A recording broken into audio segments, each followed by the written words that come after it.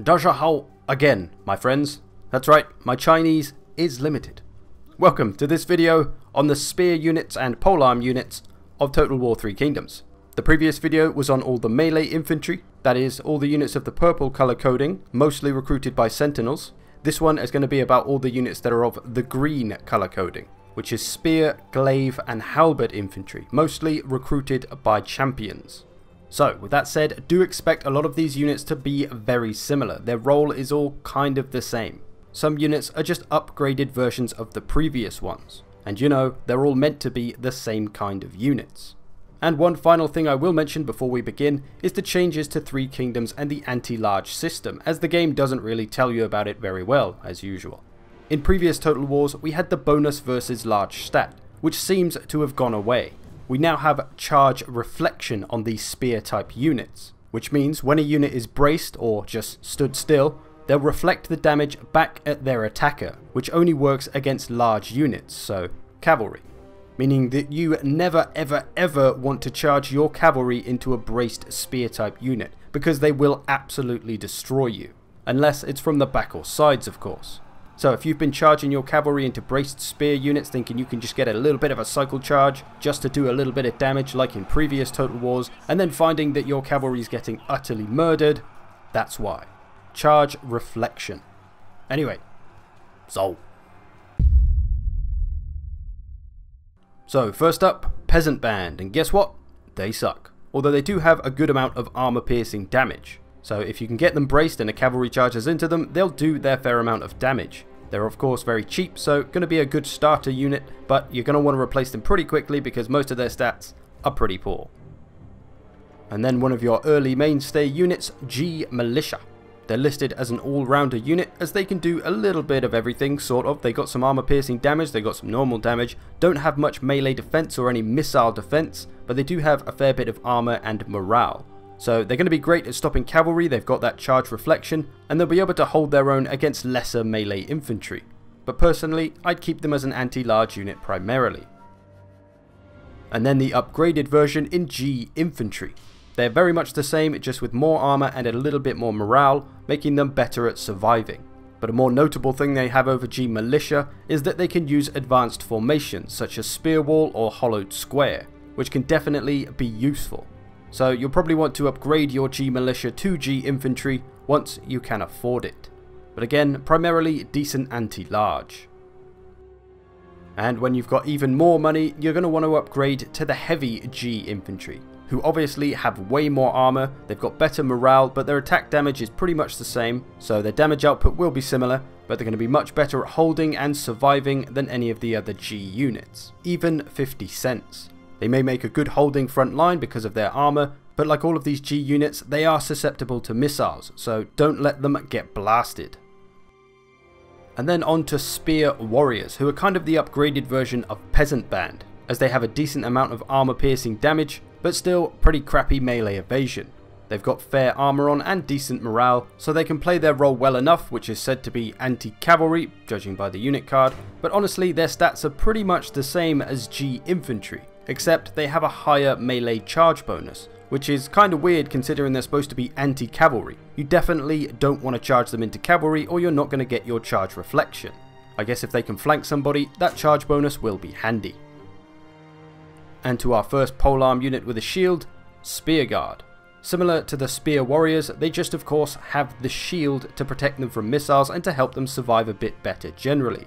They have mostly armor piercing damage, and again, best off trying to get after the cavalry, but they can take on some other spear type units or melee infantry if need be. So they may be better off more up front as they have the shield to protect from missiles, while your unshielded spear units may be better towards the back of the army. And then we've got heavy spear guards, who, you've guessed it, are holding a door. Hodor, if you will. Which obviously gives them much better missile block chance, as well as a bit more armor and morale. So very much just the upgraded spear guards overall. Same role, if you could put them in a spear wall, they may be really good at defending and holding out for a long time given the size of that door. So again, better against a lot of missiles, good at taking down cavalry. And finally, to something different, Azure Dragons, Heavy Glaive and Bow Infantry. These boys can dish out more damage in melee, although mostly non-armor piercing. They've got plenty of armor, of course, great melee evasion, and good morale. So these are one of our first elite type units. They have charge reflection so they can be an anti-cavalry unit. They're good in melee so they can take on melee infantry. They have the bow so they can be archers if they want to. And they have their unique stance where some of them will kneel down in front with the spears protecting while the rest of them will be archers in the back. So a very good all-rounder unit for just taking on everyone. Armor piercing missiles though will put them down. Protectors of Heaven, another elite unit, this time more for the front line. With their great armor, great melee evasion, great ranged evasion, and great morale, they're pretty tough and good at staying in the fight. Not to mention that they're disciplined and cause and are immune to scare. Damage wise, they have mostly non armor piercing damage, but some armor piercing damage as well, so slightly better against those softer targets, but they can take on anyone really. Gonna be one of the more dominant units in the later game. And then a unique unit for Zhang Yan, Black Mountain Outlaws. These are very much your typical lightly armoured spear unit. Lots of armour piercing weapon strength primarily, and decent melee evasion which is a little bit rare for these units. And being of the Black Mountain, they wouldn't be complete without scare and guerrilla deployment, so they can deploy outside of the usual deployment zone at the start of the battle. They lack any kind of missile defense though, especially with no armor, so they will get shredded by missiles pretty easily, and you'll find them running for the Black Mountains because they have pretty low morale. Still an anti-cav unit primarily, but with some nice little touches. And then we have the Warriors of Yi. These are a unique unit for Yuan Shao and maybe others, and are basically a fancy version of Ji infantry. They've got very similar stats but way better morale overall. They're also disciplined so they won't lose morale if their general dies, and they're immune to scare. So they're similar to the Ji infantry, they're going to be good at taking on cavalry or maybe other kinds of infantry, but they do have those little traits that make them stand out a little bit. And another unique unit for Yuan Shao, the Defenders of Hebei.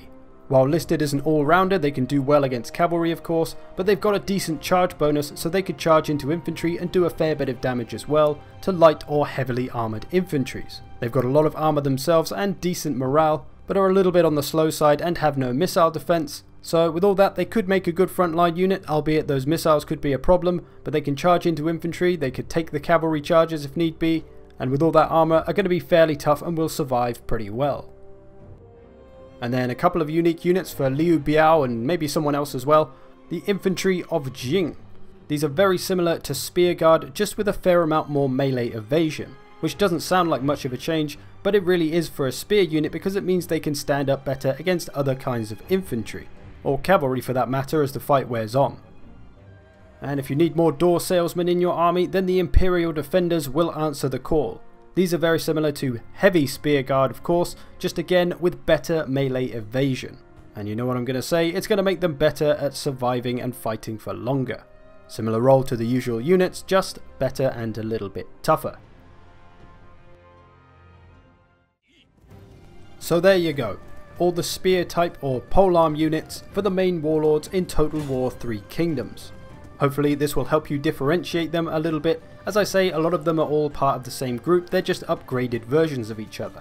Ultimately they're all going to be doing the same thing and will do that role equally well, defending against the cavalry. Learning to use all the different formations of these kinds of units though is where they can really shine with the turtles, circles, squares, whatever, different formations can make these units much much stronger. But that's a different video for a different day. I hope you've enjoyed this, thanks for watching, I'll see you in the future. That's right, we'll keep it English at the end of this one.